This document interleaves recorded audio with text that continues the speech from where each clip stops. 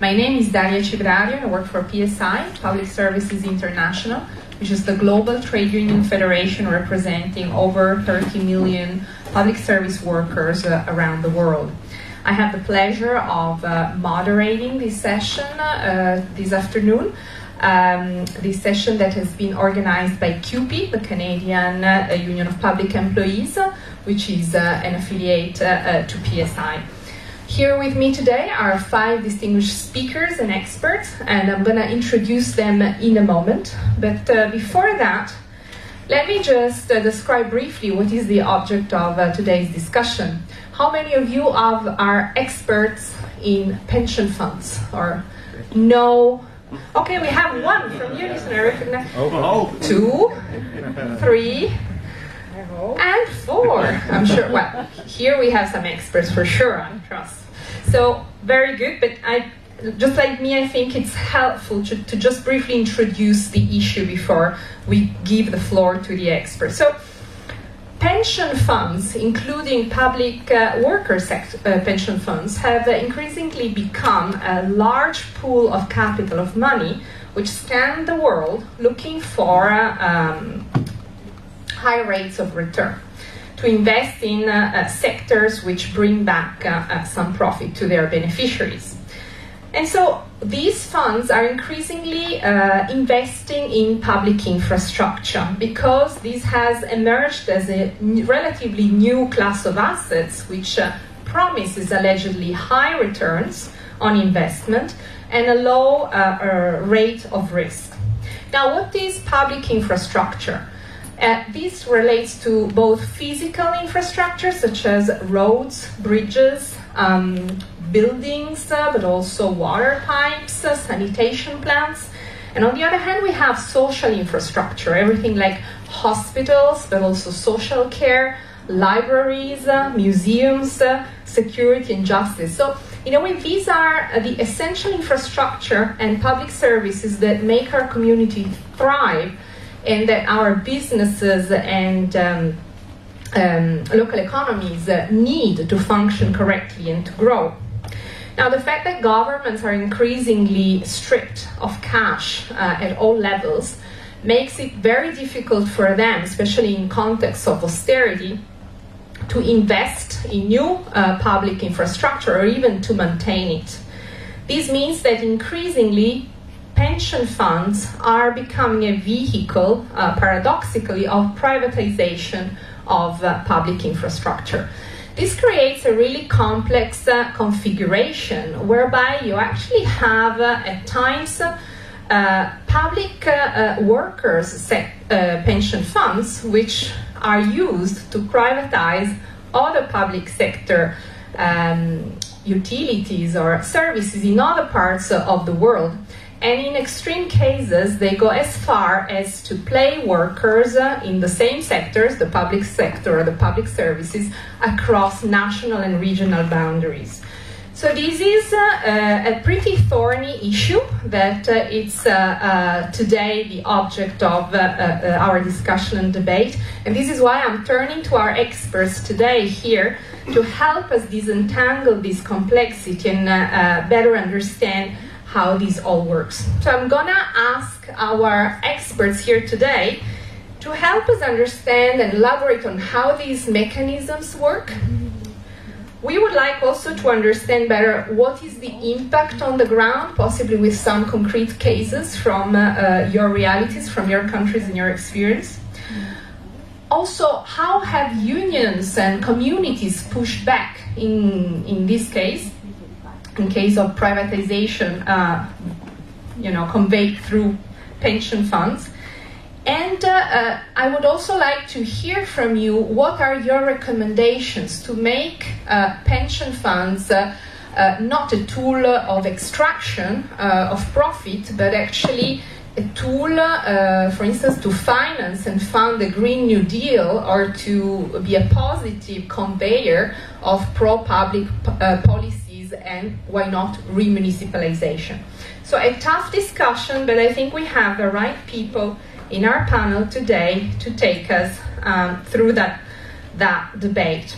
So let me uh, start introducing uh, our panelists in the order they will uh, make their interventions. First of all, Kevin, Kevin Skerrett.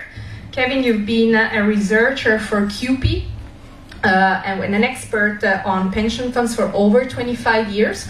And you've also recently published a book precisely on this topic called The Contradictions of Pension Fund Capitalism in 2018. We will then uh, have Vera, Vera Weghmann, a researcher at PSIRU, which is Public Services International Research Unit.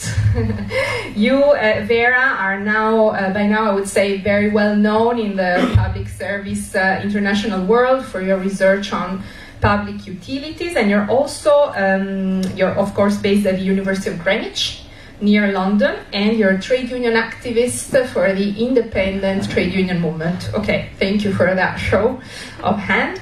We will then move to Stuart, Stuart uh, Fegan, who is a national officer at one of the largest uh, British trade unions, the GMB, and you're in charge of gas distribution and the water sector.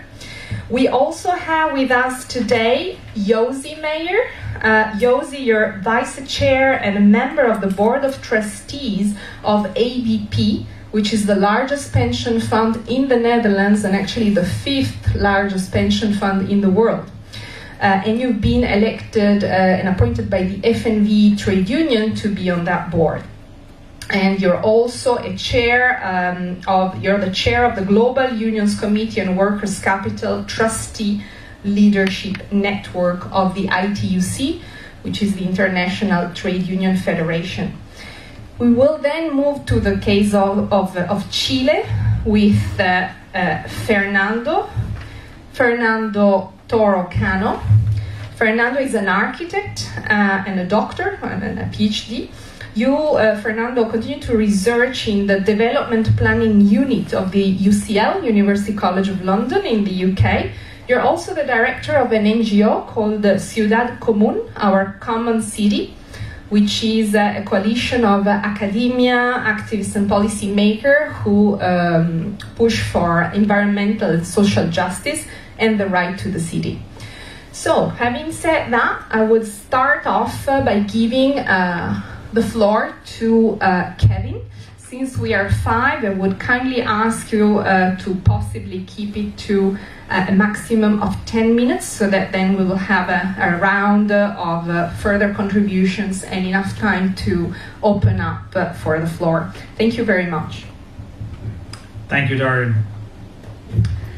And thank you everybody for coming. A quick word of thanks to uh, co-panelists and TNI and the organizers. I'm particularly happy to have this opportunity to, to speak on behalf of CUPE that did make this uh, issue a priority for the conference. And I'll just say, uh, I think the issue uh, that we're going to talk about this afternoon is a very important one that does not get discussed very much.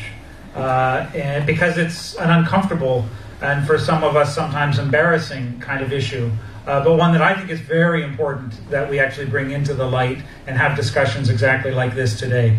Uh, I'll just say very briefly, in addition to what Daria said to introduce me, uh, I have worked on pensions for CUPE uh, a large public sector union in Canada. Uh, that has meant that I'm involved in collective bargaining and the fight to protect pension rights for our members. But it has also meant that at times I've played a role as a trustee representing the union on boards of trustees that get involved in investment decision making, investment policy, and all of the difficult challenges that that entails.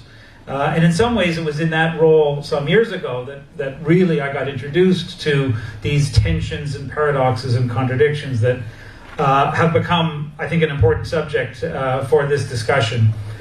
Just to say, one of the nice things about speaking at this conference is, uh, unlike others that I have spoken to, I don't have to speak uh, this afternoon to those gathered about the importance of the fight around privatization, the importance of public ownership, democratic control. I can take that as a given that we share that view. Uh, I guess I, I would just like to add to that that um, to get specific about the role of pension plans and pension funds. Are we okay with the sound? Yeah. Uh, the, the, the, the contradiction we end up with is that you know, a, a, trade union like CUPE, like many others, we spend a lot of our time and energy, quite rightly, uh, interested in defending public uh, ownership and public management because we believe it's good for our members, especially our members that work in public, the public sector, public services. But we also believe it's good for society and good for a democratic society. Uh, and we uh, don't talk enough about the fact that, particularly in the public sector, when we negotiate pension plans, especially in the Anglo American world, where our pension plans are funded and invested in the private financial markets, this gives us a different connection to the world of privatization, and that is large pension funds, like other institutional investors, have come to view the public sector, public infrastructure in particular, as an ideal target for investment. But of course, for it to be a target for private investment, this means it has to be privatized and sometimes transformed and financialized to make it an ideal form of investment. And that's what, that's what we've been seeing. Uh, I will just, I'll just, again, as part of the introduction, I just want to uh, point out uh, David Harvey spoke yesterday and, and gave us a thoughtful uh, uh, keynote. Um, one of the phrases or one of the passages that I have taken from David Harvey that I think is relevant for this contradiction, this paradox, uh, he wrote in, in, a, in a recent book called 17 Contradictions uh, and, the end, and the End of Capitalism. He wrote, uh, I'll just read as, as follows. He talks about an empathy gap between the oligarchy and the global 1% and the rest of us. He says, the empathy gap between the oligarchy and the rest is immense and increasing. The oligarchs mistake superior income for superior knowledge of the world, rather than their superior command over accounting tricks and legal niceties. They do not know how to listen to the plight of the world because they cannot and willfully will not confront their role in the construction of that plight. They do not and cannot see their own contradictions. He's talking about the oligarchy, the 1%. I want to I want to agree with Harvey and say this is a contradiction where actually workers through these pension funds actually have a piece of that oligarchy and a piece of the financial markets and the financial system uh, that we are actually up against in our battles. So I want to turn now to the to the gist, and if we could go to the next slide, uh, I want to talk about what is known in financial market circles on Wall Street and the City of London and other financial circles as the Canadian model of pension fund investment. Uh, this is something that has actually been come to be recognized even by, uh, for example, The Economist magazine. Uh, yeah, uh, it'll come up in a second. Uh, in, in the year 2012, The Economist took note of the emergence of a new model that had actually been pioneered by Canadian pension funds in particular. The Australian funds actually ha- have a similarity, but the Canadians have a particular model. And really, it is a, a group of very large public sector worker pension funds uh, came to uh, develop expertise in the world of infrastructure investing. Uh, and the Canadian model uh, very briefly, is one whereby this is not investing in shares of companies that are privatizing, taking small pieces. The Canadian model is, is a direct ownership or private equity model of ownership of infrastructure, meaning you're not buying a piece, you are buying in, in entire pieces of infrastructure, owning it and operating it on a for profit basis. Uh, this is this is different, and the expertise and the capacity to do that is actually developed in the Canadian model in house within the pension fund. It's not that you hire a Wall Street or, or, or, or City of London money manager and you send them money and they do it on your behalf. The funds themselves are doing this and, and have been pursuing this since the 1990s.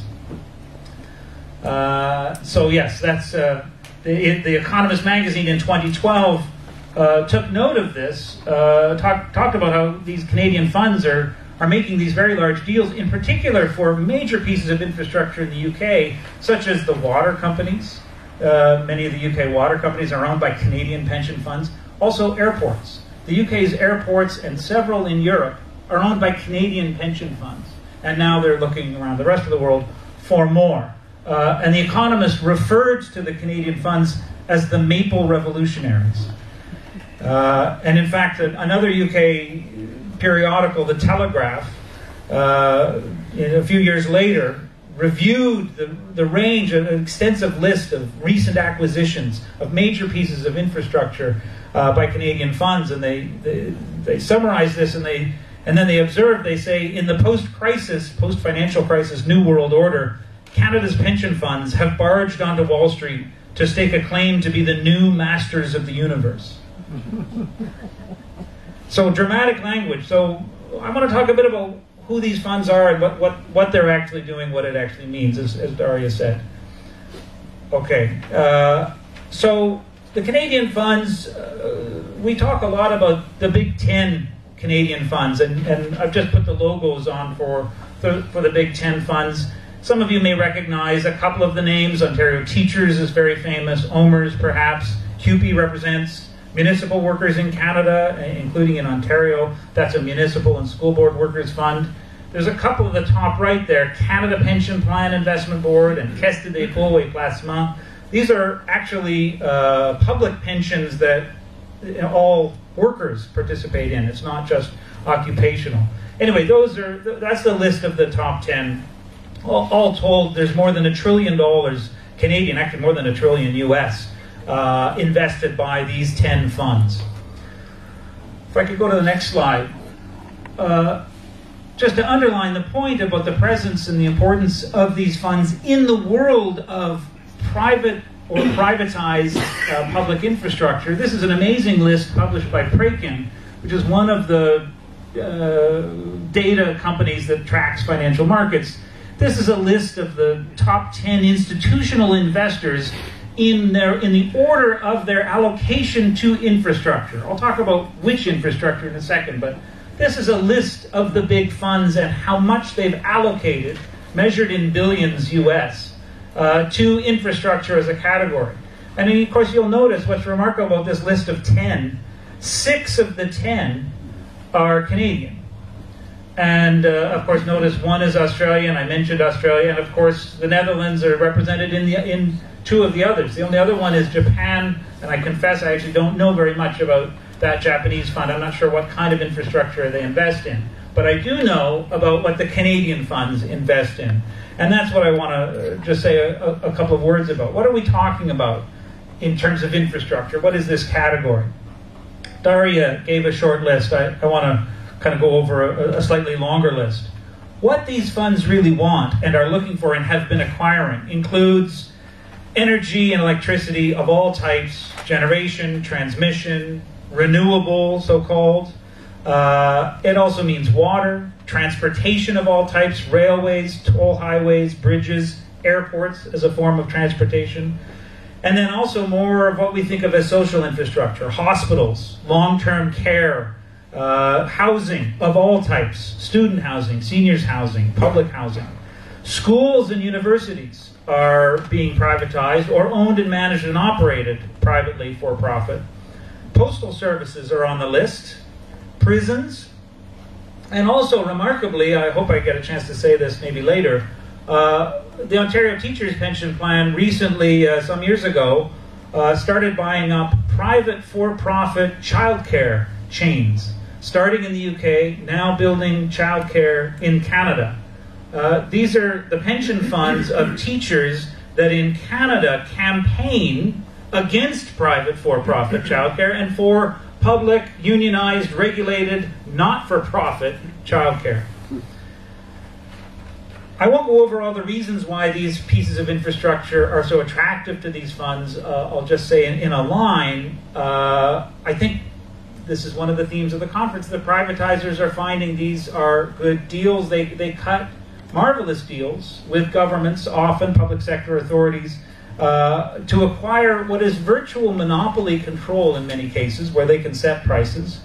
Uh, they're long term deals, sometimes 30 years or more, and often they are structured to virtually guarantee profits for the private investors. It's a very attractive model uh, for all the reasons you can imagine if you're a pension fund investor.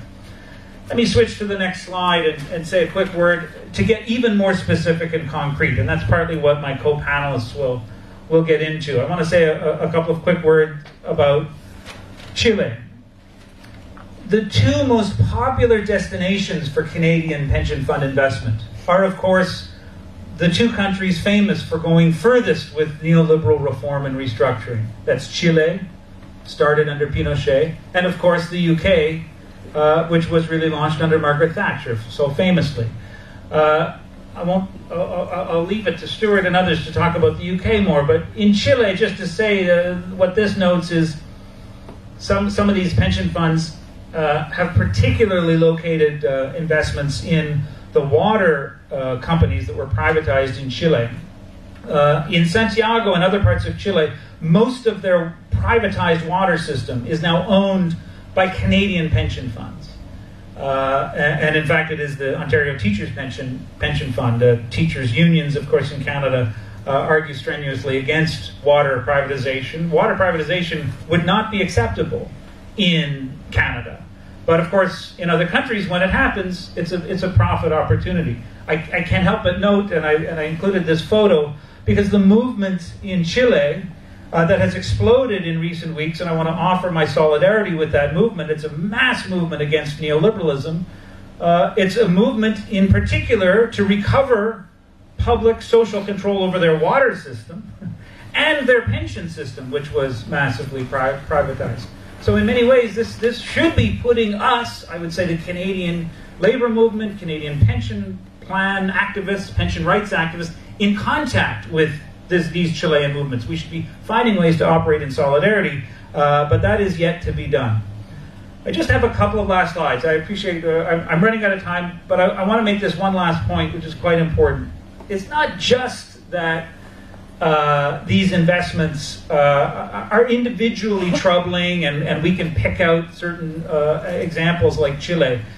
I want to make an argument that these funds are becoming politically organized uh, against, directly against our interests and our efforts to defend uh, against privatization and to recover public ownership, public control.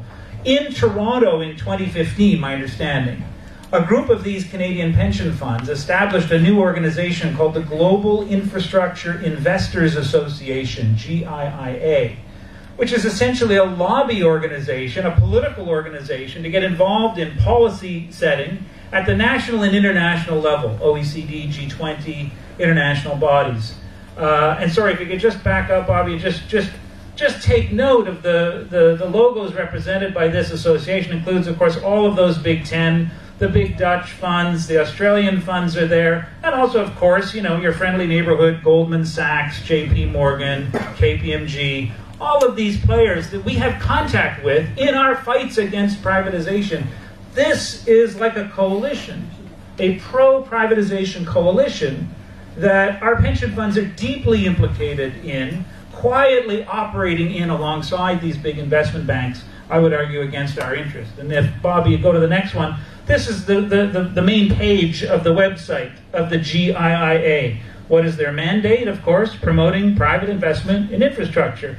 Uh, this is the membership body of the world's leading institutional investors. On their behalf, we work with governments and other stakeholders to boost the role of private investment in providing infrastructure.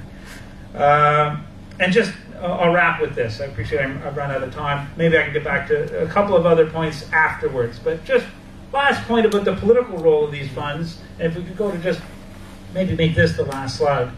Uh, along with this quiet role through organizations like the GIIA, uh, private investors and finance, uh, financial asset managers will even now get directly involved in politics. Uh, I think we all, uh, many of us in the room, are familiar with this important, uh, these important developments in the UK where Corbyn and the Labour Party are proposing major recovery, renationalization, retaking democratic control over water, over energy, over postal services, rail services, so many things. Well, there has been actually an active effort in the UK to warn people against supporting this movement, arguing in part that, well, you know, your pensions are now so wrapped up in the in the profits generated by these privatized industries that your pension is under threat if Corbyn forms a government. And this this resonates. This will be effective.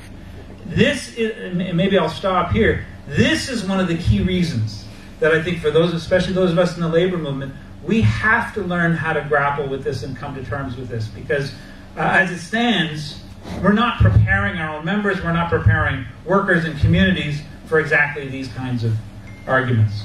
And maybe I'll stop there uh, and we'll hear from others. Thank you, David.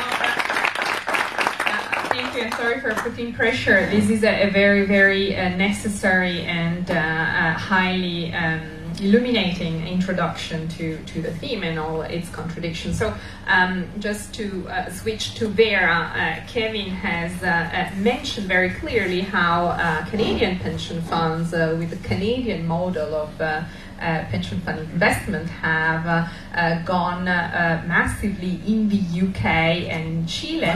And so Vera is precisely going to tell us more about how that pension fund investment in water and other utilities in the UK looks like and, and draw some, um, some conclusions and analysis from that. Vera.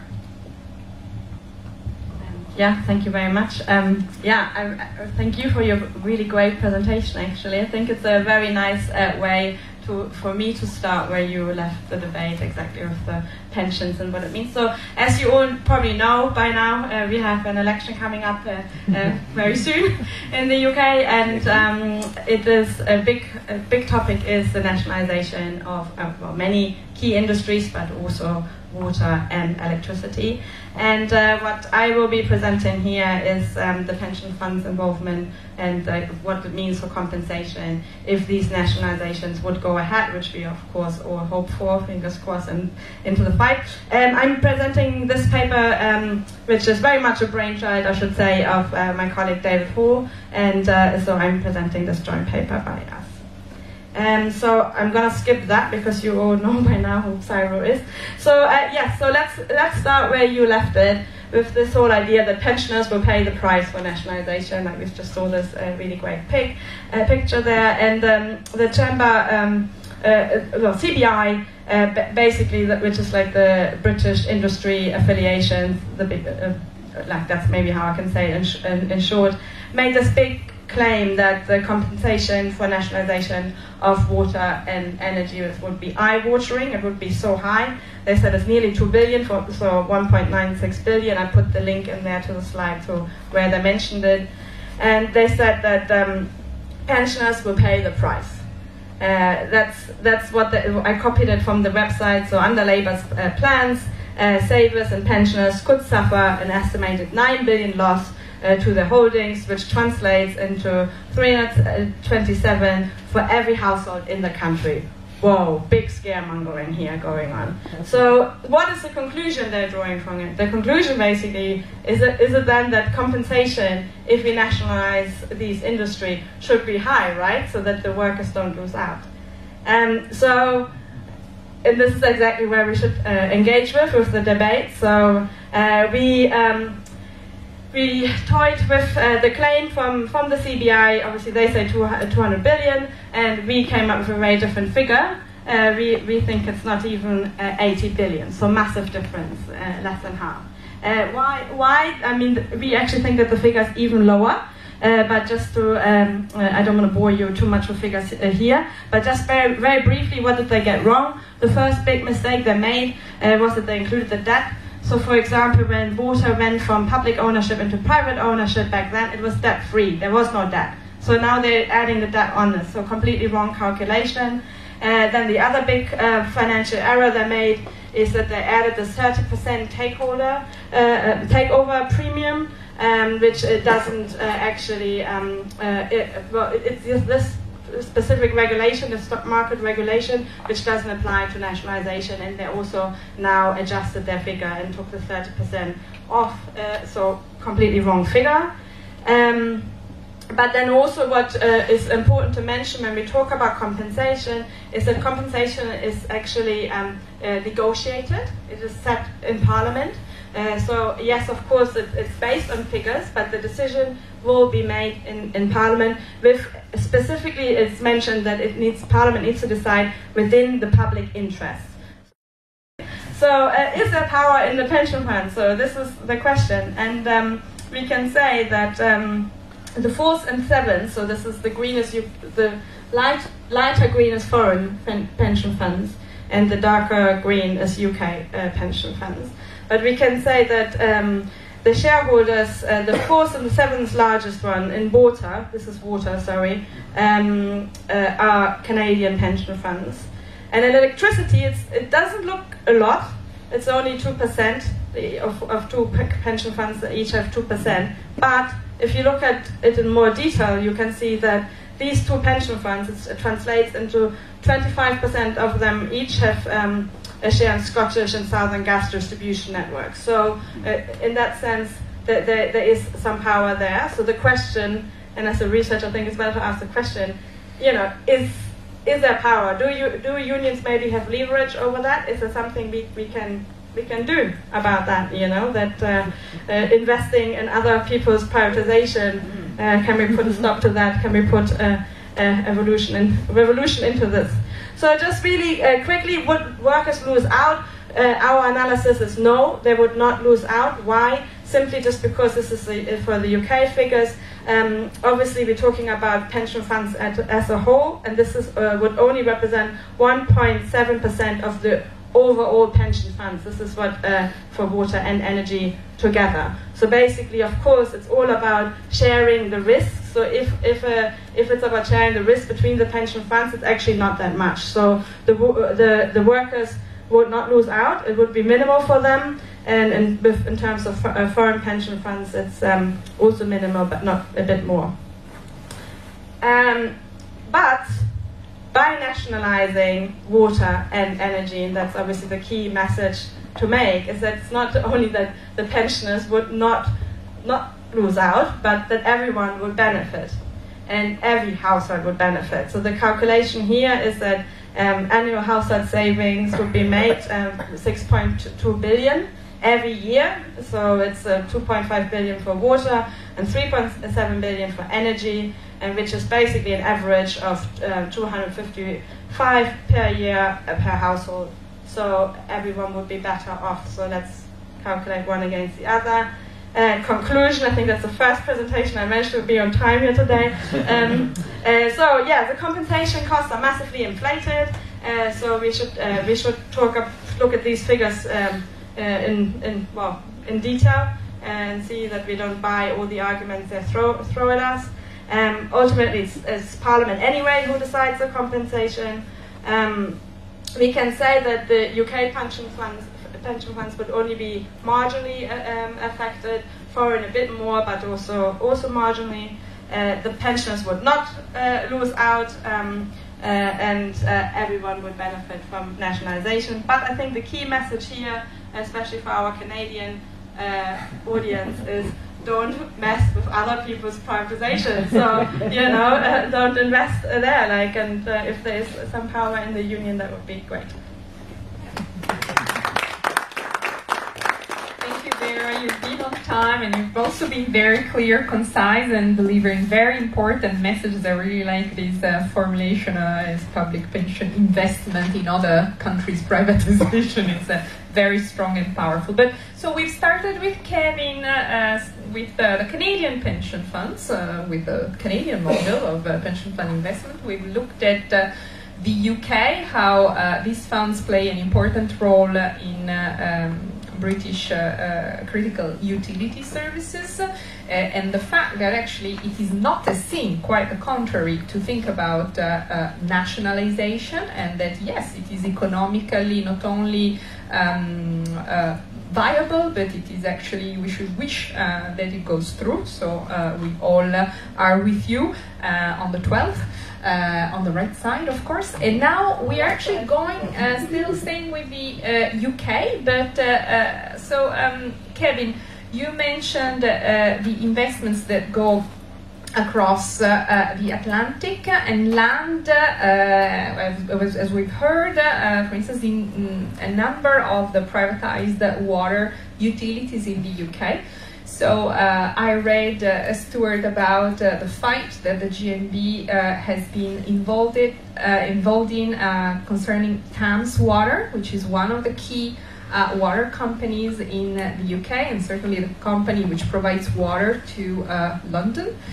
And the amazing thing is precisely that when these pension funds go abroad, uh, well, the companies they invest in, they behave exactly as uh, uh, the horrendous vulture um, funds or um, finance or private equity companies or bad employers squeezing the workers, undermining collective bargaining at the other side. uh, of uh, at the other end uh, of the of the spectrum. So the GMB launched the, the Bring Back the Top campaign. And uh, we would like to hear a little bit uh, about this amazing um, story and how uh, the workers across the oceans have uh, uh, organized themselves to fight back. Thank you, Daria. Uh, thank you, Kevin, Vera. Uh, Stuart Fegan, National Officer for the GMB. I look after all of our members nationally in the water sector, but also I also have responsibility for our members in the gas sector, and there's actually many synergies between water and gas. If I may, I'll give you a very quick and biased view of the water sector in the UK over the last 30 years. 1989, 6th of July, the Water Act was passed by the Thatcher government, which put the water sector, the 11 water boards that we had in private ownership, into private hands. Fast forward 30 years later, the current water sector in the UK wastes 2.4 billion litres of treated water every day as treated water. Bearing in mind that the UK, if you've had the, the, the pleasure of either visiting the UK or living in the UK, like Vera and myself, you'll know that the UK is a fairly wet country, and we only actually use 2% of the water that falls out of the sky for our domestic and commercial use. But we waste 2.4 billion litres of water. In the same time, customers' bills have increased by 40% over the retail price of inflation. So that's in real terms, there's been a 40% increase to water customers. During that time, in fact, today, the average salary for a CEO of one of the 17 privatised water companies in the UK is 1.2 million pounds a year. That's currently roughly about seven to eight times the salary of the UK Prime Minister. Also, between the, uh, the years of 2013 and 2017, UK privatised water companies paid £6.5 billion to its private shareholders. So this is essentially a natural monopoly uh, that was in public hands, that's been put into private ownership, that's now wasting 2.4 billion litres of water every day, paying its CEOs way, way above um, you know, even what the UK Prime Minister earns, and also providing a fairly poor service to customers. As you know, in the UK, because it's a natural monopoly, water customers, for example, in London, as you mentioned, Daria, don't have a choice over who they receive their water from. They can't go to the tap and say, I'm going to have a bit of Yorkshire water today or a bit of Thames water. They just get hot and cold, as you, as you know. So, if I may, I, I think what you'd like me to do is probably focus a bit on our campaign with Thames Water. So again, just to, uh, for those of you who don't know, Thames Water is the largest regional water company in the UK. As Daria mentioned, it pretty much services the whole of London, plus the uh, know, other parts of Greater London as well. And uh, it is a company which whose major shareholder, principal shareholder, is OMERS, as, uh, as Kevin's uh, mentioned, and and that has actually proved very helpful to us actually in many ways, in a, in a very bizarre way. Um, but when the actual company came to us in 2017, September 2017, and told us, advised us that they were going to start a formal consultation with the trade union to close its two defined benefit pension schemes, one of which is referred to as the mirror image scheme, essentially a pension scheme that was set up when the when the sector was privatised uh, which was essentially to mirror the pension arrangements for those in the public sector at the time, and also the Water uh, scheme, which is essentially a scheme that's been set up since then both of which are defined benefits. So essentially, in my very simple pension speak, I'm not a pension expert at all. Uh, our members know exactly what they're paying, what they're going to get, uh, and when they're going to get it, essentially.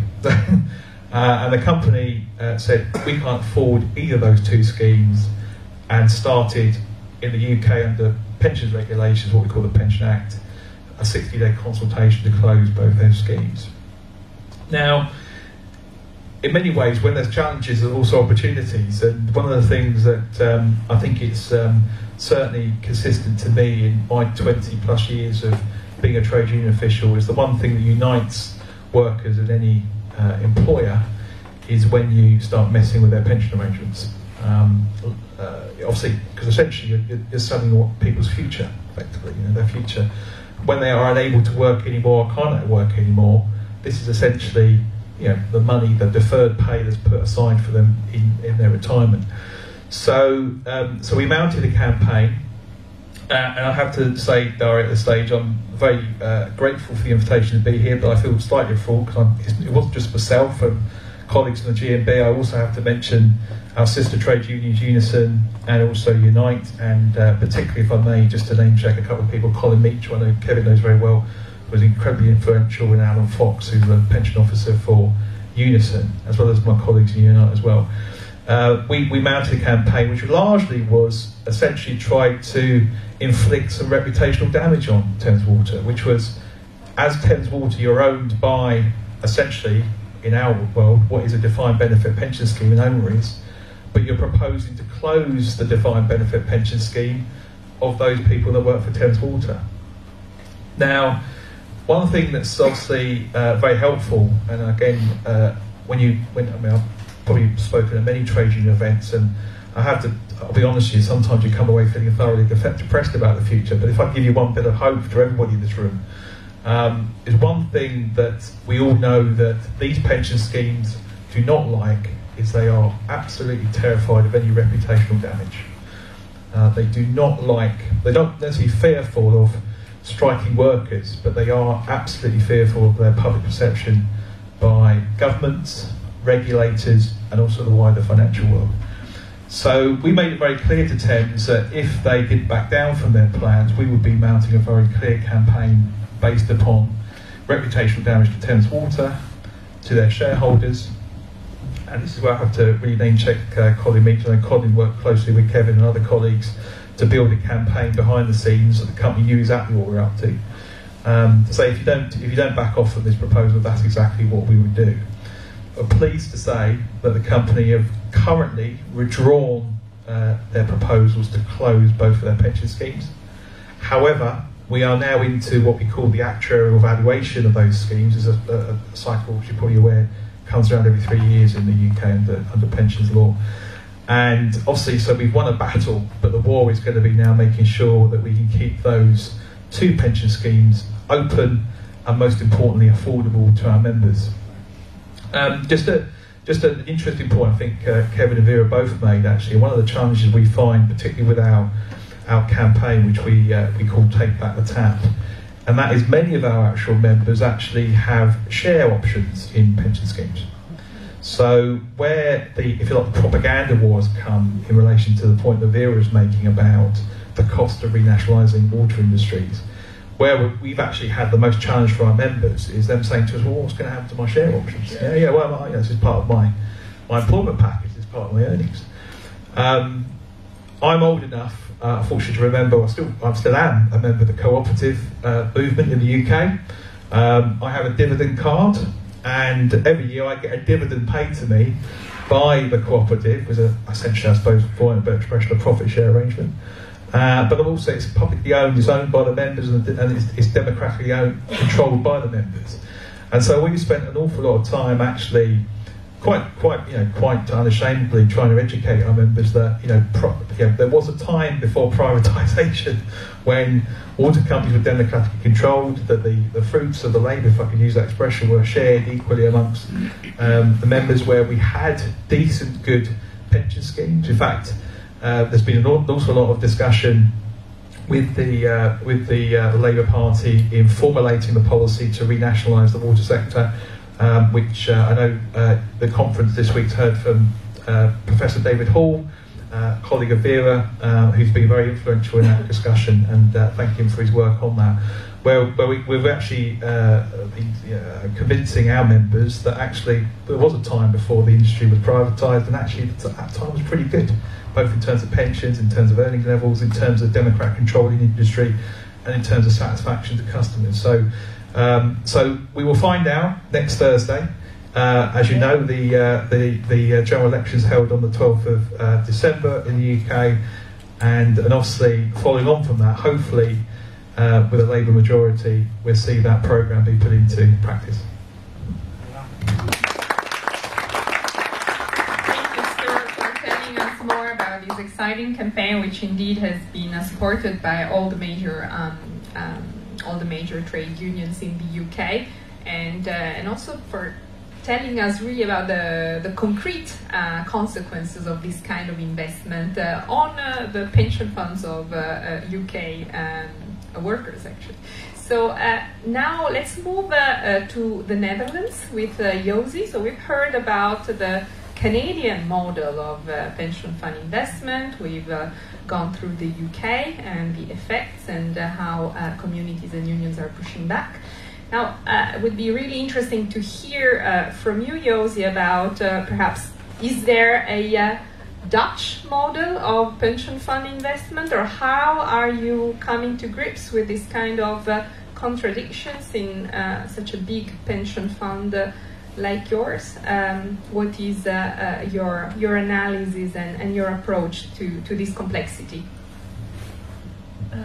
thank you. Uh, it, I really enjoy being here and just uh, be able to tell a little bit about the, the, Dutch approach. I don't know if there is a Dutch approach, but I really I do represent a Dutch uh, pension fund, so um, that makes it okay. And I wonder when I was uh, hearing to you all, I, I, figured. Do I feel guilty? Do I have to feel guilty? What has my pension uh, fund has been doing lately? Uh, is it all okay? I, we were, APG was in uh, Thames Water, but they left there. They're not anymore in Thames Water, and that's and that, that's not the start of the Dutch uh, uh, approach, but um, it is um, the, the why we uh, left, not why we left uh, Thames Water, but the, the, the moment we left uh, Thames Water was really because they have been asked, we were asking questions. And I think that's the Dutch approach. Uh, um, if I look at ABP, which is a, it's a huge fund, and we are, I'm very happy to be in a Dutch fund, and we because we have a Dutch governance in our fund, and it way and in that way, uh, so workers are also uh, uh, have their place within the fund. And uh, I heard you say that they have their place also in the Canadian fund. Um, but then I figured, well, how come that uh, the workers or the workers' influence does not let the money make for workers? Uh, that, that's the slogan that we use at the CWC, the Committee on Workers' Capital. Let's workers' money work for workers. And that's really a way of thinking that I really enjoy very much.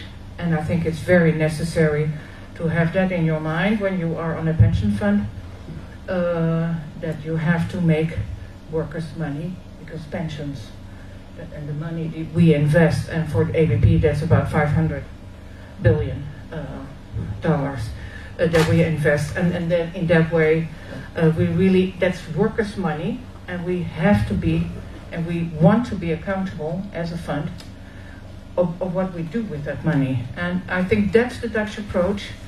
Um, and with ABP, uh, we have uh, maybe a little bit more of a Dutch approach. Uh, like the, the, Netherlands used to have the, um, we were known as, uh, as the figure, or we always had this uh, uh, to say what the world should do.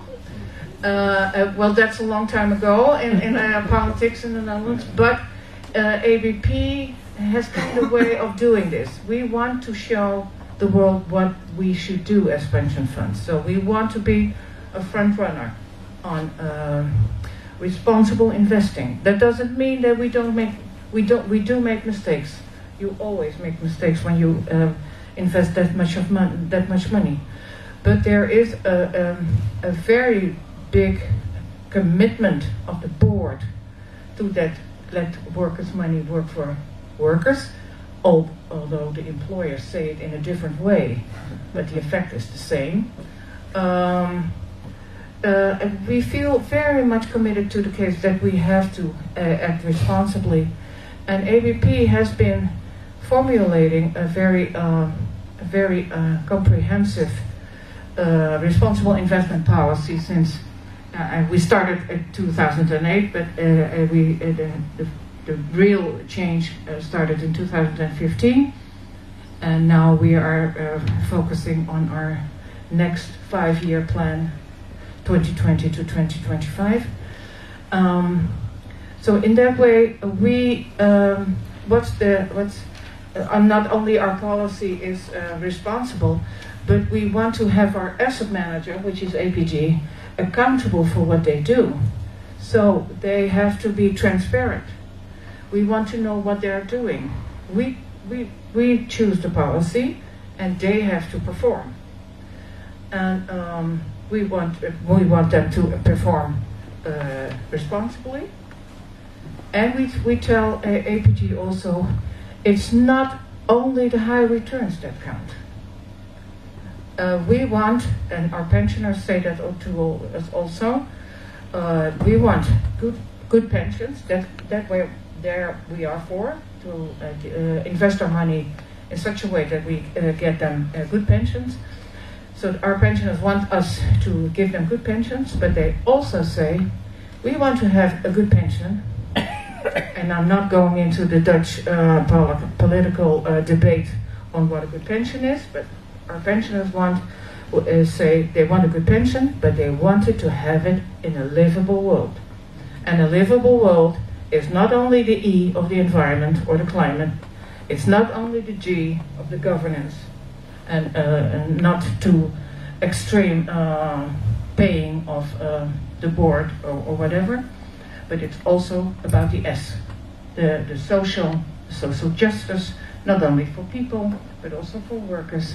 And uh, that's um, what we expect uh, that APG puts in their um, policy and in their performing, and we get back uh, from them.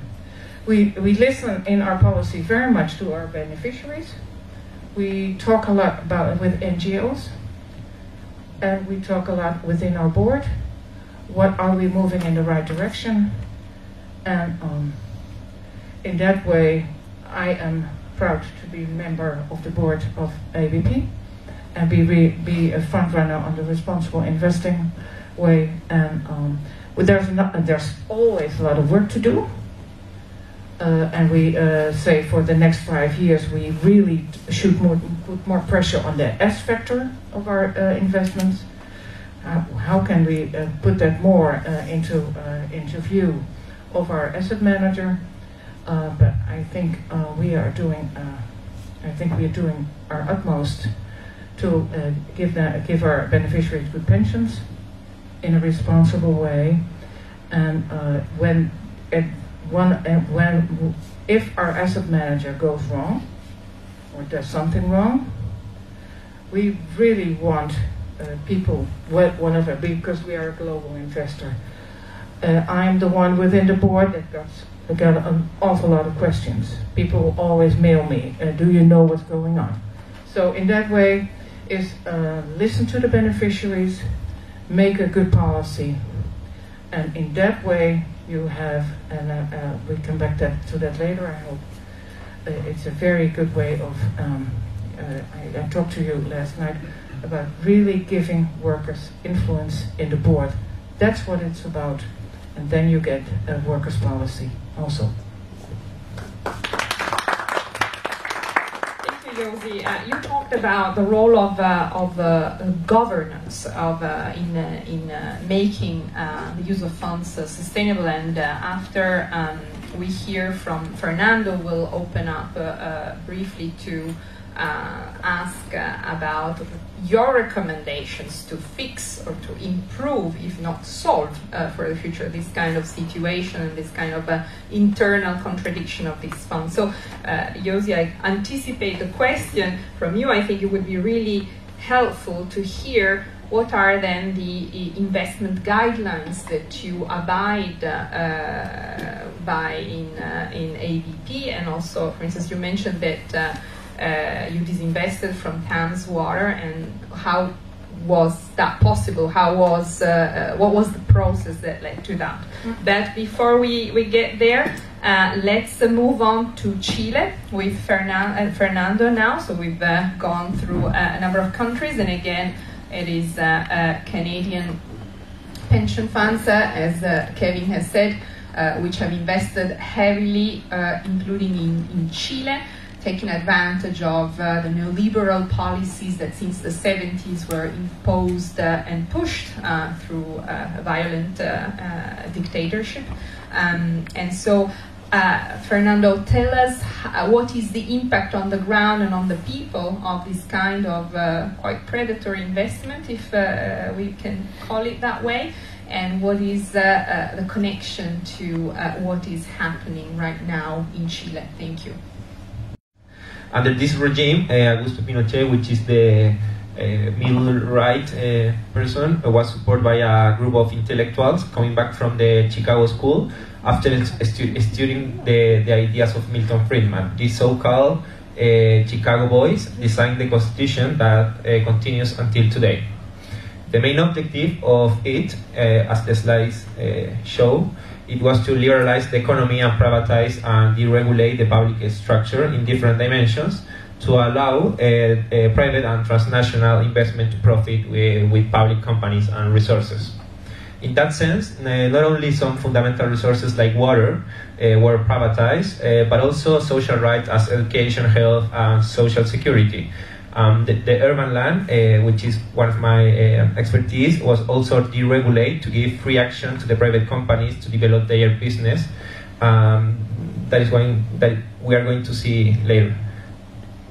In terms of the pension funds, uh, that's a, a, newspaper 20 years ago that says that Chileans were going to retire with the 100% of their income in the next year in one month.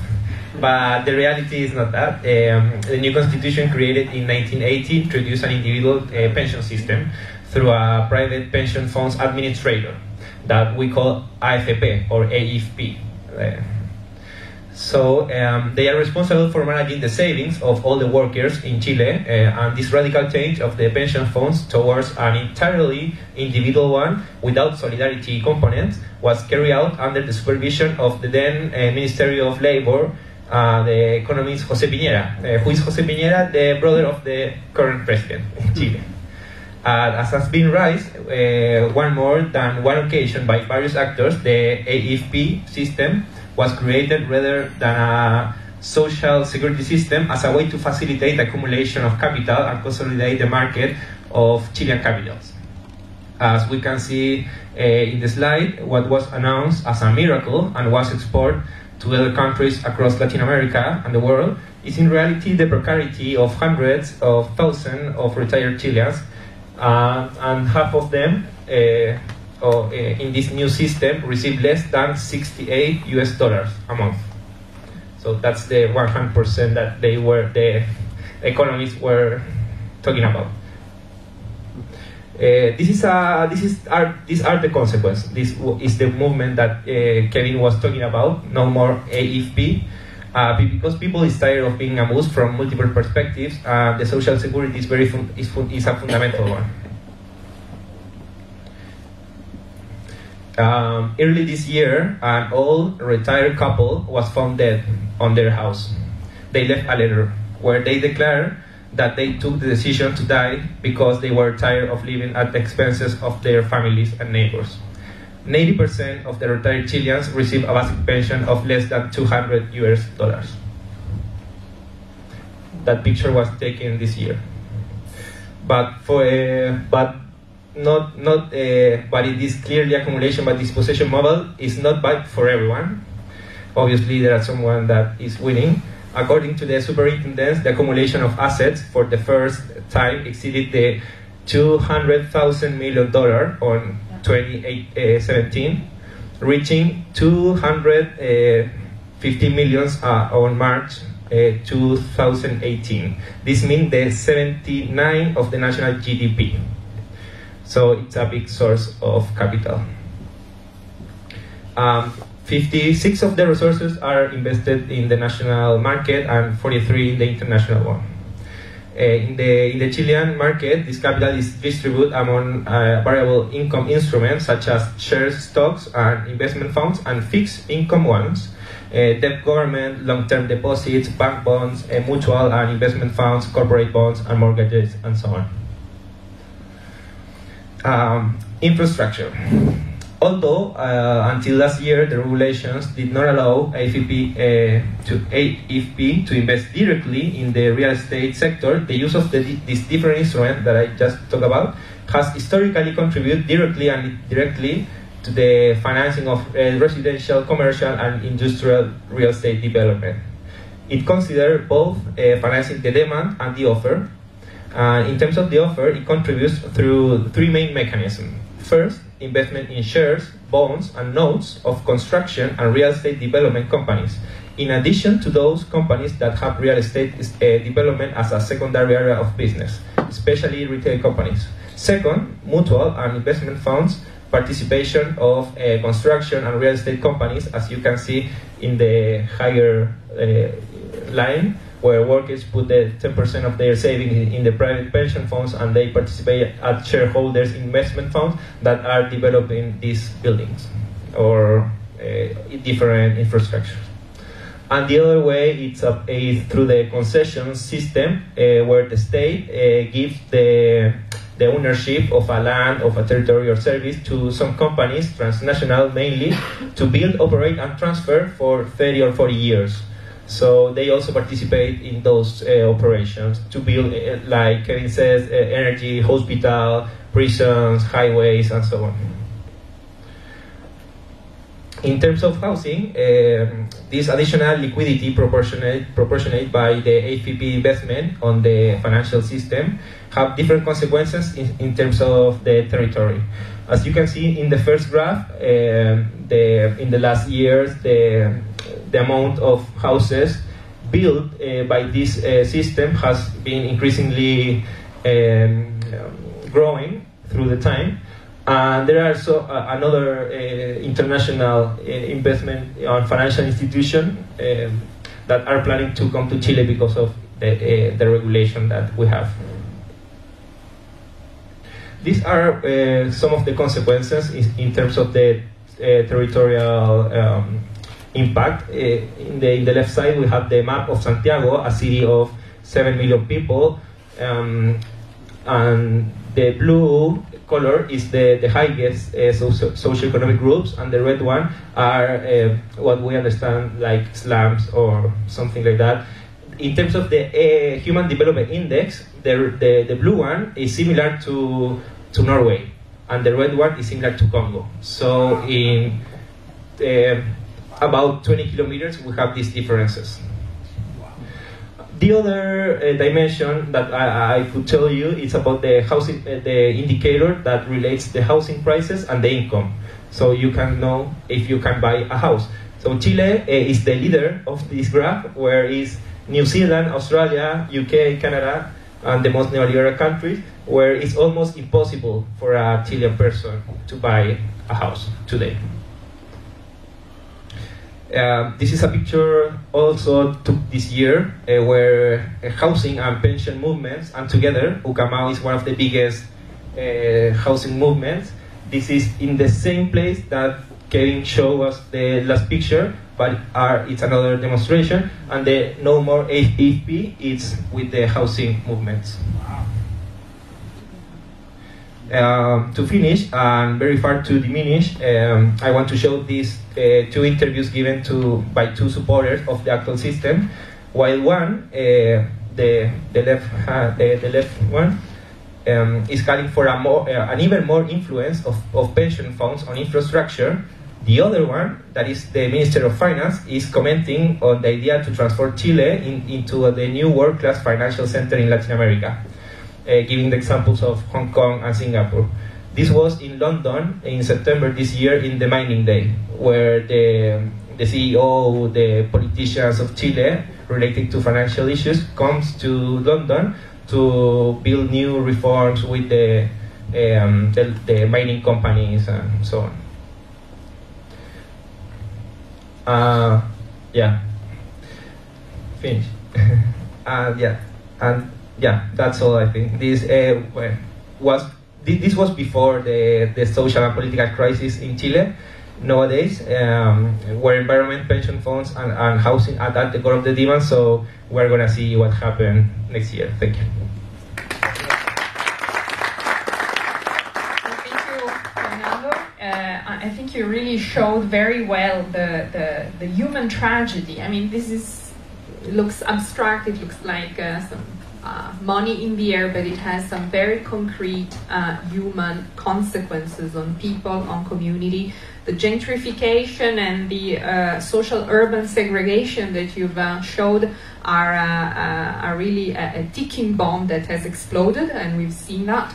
And, and so this is really something that relates to, to the discussion about our future is public because this is uh, one of those things that uh, the, the, the, concepts and the vision that is being discussed these days uh, here is precisely about uh, uh, changing this kind of uh, situations and making them better and, and bringing back to people cities where to live, not where to invest. Now, we have a, a relatively uh, short time, so I'm going to do one thing, if you allow. First of all, I ask all our speakers to uh, think about two lines uh, to tell me uh, what is their recommendation on this point. We've heard uh, this uh, motto let's uh, workers' money work for workers and for the people. So I would like each of you panelists to tell me in a nutshell what is your key or one or two key recommendations to change the situation and make uh, these huge pension funds, so these huge uh, money pools of money to work for pro-public policies and for a future that is public, not for private extraction. So this is the first point I will ask you to answer, and then I will collect a few questions from the floor. And so please take note of these uh, uh, questions if they are if they target you specifically. So I've seen John, then okay, one, two, three, four, five. I won't take more for now. So John, uh, can you please? Yeah. Uh, John Richards, I'm from Unison. Uh, I think you have to come oh, here. How does it work? Uh, let me see. Okay. So I'm John Richards from uh, Unison in the United Kingdom, and my colleague you mentioned Colin Leach. Uh, I managed him for a long time. Um, I just want to say, as well as some of the things we've raised. Yeah, yeah. I, and, um, and, I'm also vice chair of the local government pension fund, which is one of the large, it's the largest one in the UK. But I, the the challenge we're also facing on top of this, I don't want to add to the challenges is the amount of money that the pension fund managers take out of it, out of the process, and how many much hidden costs. And ABP have done a lot of work on this, but I think it's something that we need to know as pension fund governors is how much hidden money that the actual fund managers take out for the transitions as you do the work. We did one fund in the West Midlands. Uh, they thought they were paying 10 million pounds. When they did the analysis, they were paying 90 million pounds was being paid, so nine times as much in hidden costs. So I just think I just wanted to throw that in as well. Thank you. I've just been told that uh, there's a prayer that is going to take place at 3.30, so I'm uh, even more stressed. So please be concise with your uh, questions, and uh, also panelists, please be concise with your answers. Yeah, thank you very much. I'm Constantine. I actually work at the university there, and my pensions are invested in ABP. And I don't really appreciate the fact that you talk about responsible investment but don't divest from fossil fuels.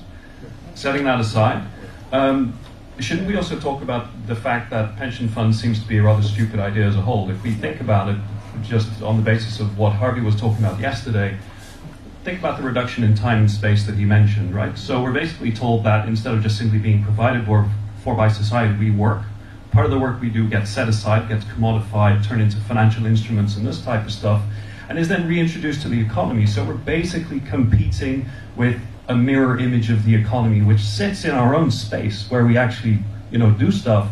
And you look at the size of the Chilean one, which you mentioned is 79% of GDP. That sits there in the existing Chilean economy, representing the future while inflating asset prices and making things more difficult for ourselves. Isn't it a bit of a runaway Frankenstein monster in a lot of senses? It just strikes me that we should abolish it rather than try to reinvent it. Thank you.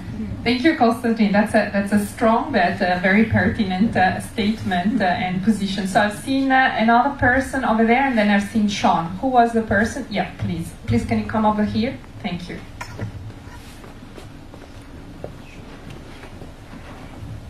Um, I'm Sylvia from Austrian Chamber of Labor. I have just one question, just uh, connecting to the, the last uh, question or comment, because I think he's completely right. And in Austria, we have a different system. We have social security pension and no pension funds. It's just a very small part. So I agree totally, it's the wrong way. But you can't change the system as quick as, uh, as, as you should, or even it's not possible because of political reasons. But I have one question. How big is the share of national investment in infrastructure, in Canadian infrastructure with in, uh, by Canadian pension funds? And uh, the same with the Netherlands uh, pension fund. Because if you invest in your own infrastructure, maybe it's easier to get control. So that's just a question. I don't know. I'm not an expert. Thank you. Thank you. And last, uh, very last question. Uh, firstly, thanks to the speakers. I thought they were all fantastic. Um, it's developing a theme, I think, is what would social ownership of pensions look like? Do we have alternative models? Can we see workers' pensions being invested for public good, not shareholders? And also thinking about the future, how we, we have to reorganise work to address climate change. How does that, is that going to work? Yeah. So thank you for these very important and difficult questions to tackle in such a short time. What I'm going to do, I'm going to do a reverse tour so that we end with Kevin. But again, uh, I'm really sorry. I thought we could have a little bit of a margin, but it seems we don't. Um, so uh, be concise, but give us your strong points uh, on, on, these, uh, on these key questions. And please continue the conversation afterwards. Fernando. Thank you. Um, well, for, from a, from my perspective, um, yeah, more than thinking about give back give back money to people, which is funda- a fundamental claim and a first step. I really believe that we have to change our conception of, of making profit and doing business with this. In the end, we live in a in a globalized world. Uh, we are all connected, uh, and in that sense, we have to stop uh, thinking locally uh, but to internalize that the consequences of our privilege, because that, that's the word, our privilege, have an impact on other geographies. Um, and I am part of that critique. Uh, I am agree that uh, we have to think in, in, other kind of systems, not only in terms of the, the social impact or the accumulation of wealth, but for the uh, unsustainable future that we are building. I think that's the most important thing. Uh, the, the world is not going to uh, work forever if we continue. Thank you very much. So, pensions for people, not for profit. Josie, what do you say? Well, I think that that's what it's all about. Uh, as I when I started, I already said, well, it's it's not only the, the high returns that count; it's more than that that count. Um, and um, I don't know, it, it I don't know if that's an answer, but I really believe that if we uh, I believe in pension funds, but I also believe in uh, putting the money in, uh, away in a, in responsible way. And in that way, you have to get uh, control over the pension funds. So that really needs to have this discussion about how your governance does look like.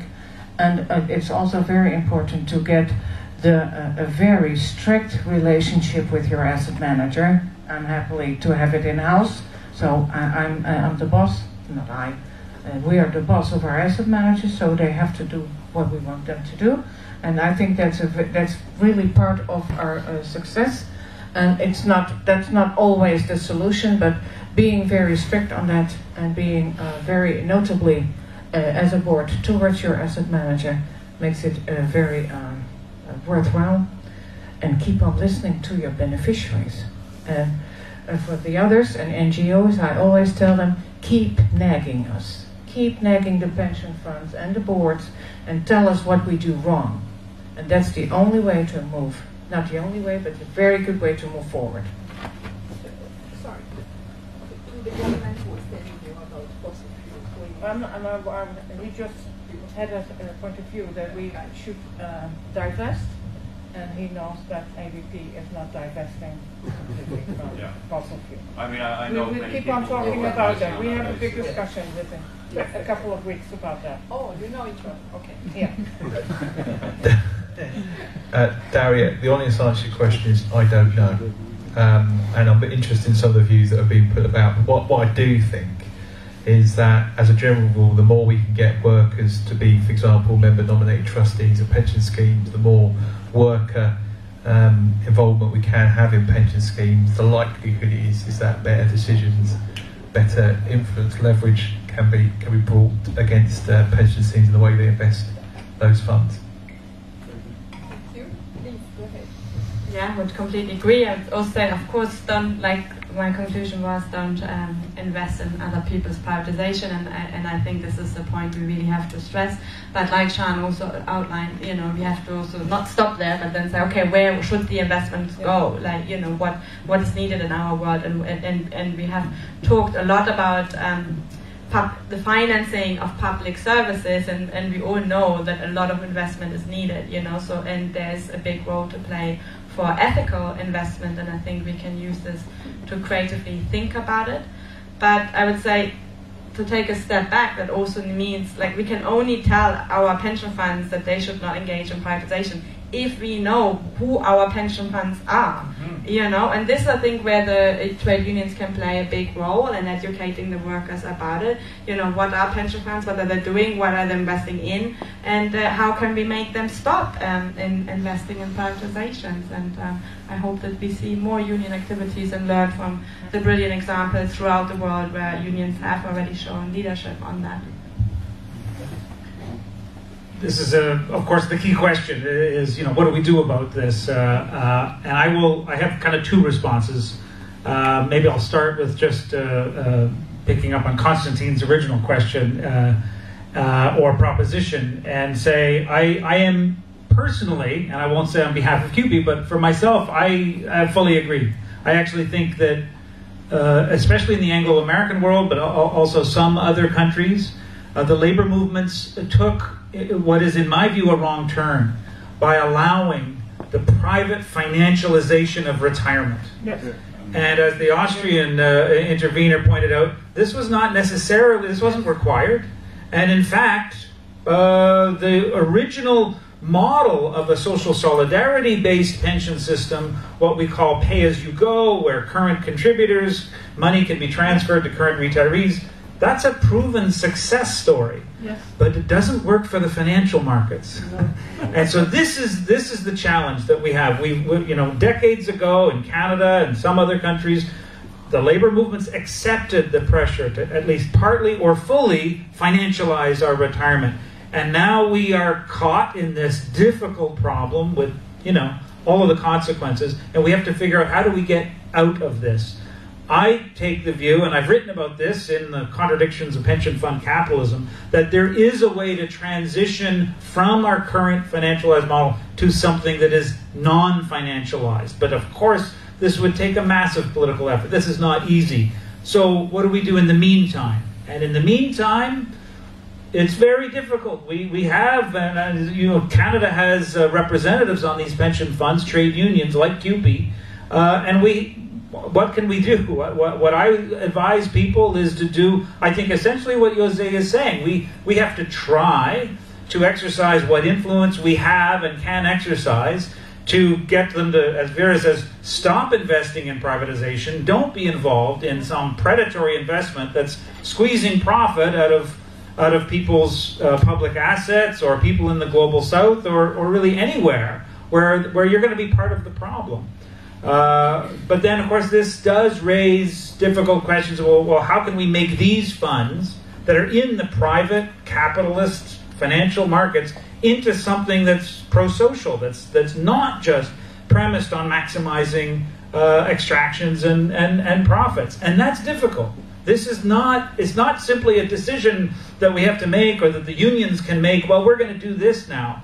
What does that look like? I, will I'll conclude by saying this: If we are going to do that, I think in a viable way, my own view is that we can is that we actually have to make a break with the private for-profit financial model and figure out. You know, I'm I'm not opposed to credit and lending and and maybe figuring out a way that these kinds of pools could be put to social use, socially positive use, but I would argue that that can't really work within the existing legal and financial structures. We need to make a break and structure things more like, and I'll conclude with this, our original uh, social security pension plan, the Canada Pension Plan, which is listed now as a major privatizer, the original structure of that plan actually did have a small uh, uh, investment system. And what was it doing? It wasn't in the private financial markets at all.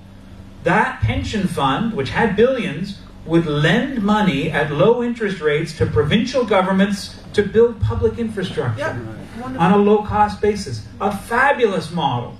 This was erased in the late 90s by a neoliberal federal government, and the rest is history.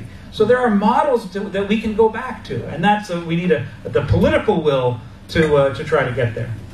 Great. Thank you.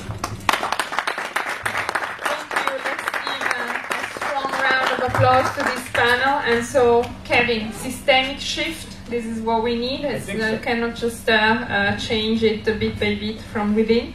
But I think we need also to continue to talk. And I think this first, uh, uh, this panel here was very important. This is a thorny issue, but if we don't talk about it, we're gonna go nowhere if everyone stays shy and doesn't dare to talk about what's going on. So I would encourage everyone in the room and from the organizations and the funds and the unions we represent to continue to engage in dialogue to move forward. And then I would say, let's make sure that public uh, pension funds and public pension funds in general are part of the strategy uh, of a pro-public uh, future. Let's not leave them out because there's a huge pool of money and we cannot uh, do without them in a way or another. So thank you very much for uh, being here to all and thanks for CUPE for having organized uh, this very important panel. Thank you. Bye.